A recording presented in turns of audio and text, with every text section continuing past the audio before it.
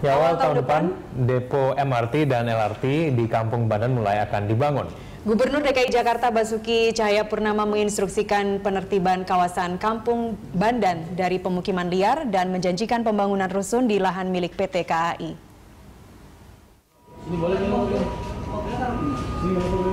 Awal tahun depan, depo MRT dan LRT Kampung Bandan akan mulai dibangun. Membentang 8,1 km dari Bundaran Hotel Indonesia hingga Kampung Bandan, jalur MRT berikutnya setelah jalur Lebak Bulus Bundaran HI ini akan segera dibangun awal tahun depan.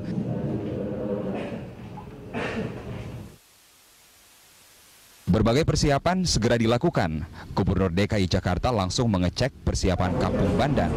Berbagai penertiban dan rancangan akan dilakukan. Di antaranya ialah membangun rusun agar warga pinggiran rel kereta api bisa ditertibkan dan dipindahkan ke rusun sebelum pembangunan depo dimulai. Kita akan mulai mungkin tahun depan mulai. 2020 kita selesai, selesai ya? 2020 kan selesai. Ya jadi 2018 selesai sampai Bundaran HI, yang sampai Kampung Bandan 2020. Maka kita juga mesti mulai siapkan bangun rusun.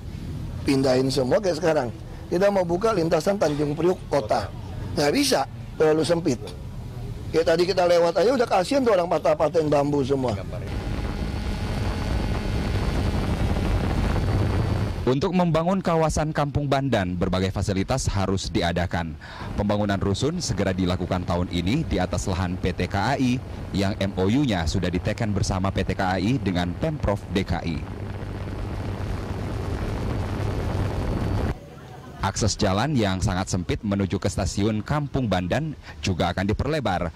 Konsekuensinya, pemukiman liar padat kumuh di sekitar stasiun akan segera digusur.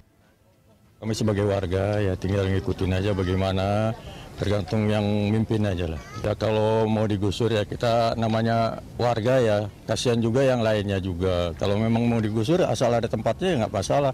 Dan lagi kita pengontrak maupun yang punya rumah itu harus ada perhitungannya lah atau penggantiannya bagaimana juga.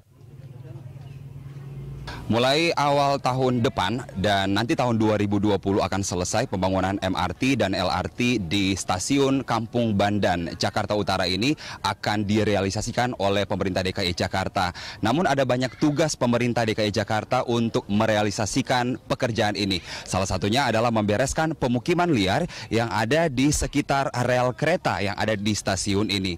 Ada banyak tugas yang harus dilakukan, namun pemerintah DKI Jakarta sudah mengupayakan Berbagai cara salah satunya adalah rencana untuk membangun rumah susun bagi para warga Jakarta yang tinggal di pinggir rel kereta api di belakang saya ini. Kita berharap bahwa rencana ini dapat didukung seluruh stakeholder dan juga masyarakat sendiri agar Jakarta baru dengan transportasinya yang baik, kemudian sanitasi, uh, tempat lingkungan hidup dari warga dapat tercapai.